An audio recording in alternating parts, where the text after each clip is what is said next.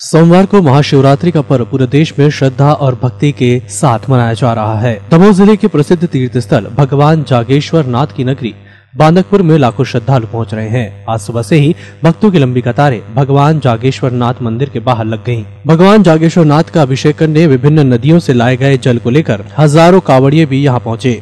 जिला प्रशासन सहित पुलिस प्रशासन द्वारा भी माकूल व्यवस्थाएँ यहाँ पर की गई हैं। करीब 300 पुलिसकर्मी और अधिकारी चप्पे चप्पे पर मौजूद रहकर सुरक्षा व्यवस्था बनाए रखे हुए हैं। वहीं सीसीटीवी कैमरों से पल पल की निगरानी की जा रही है।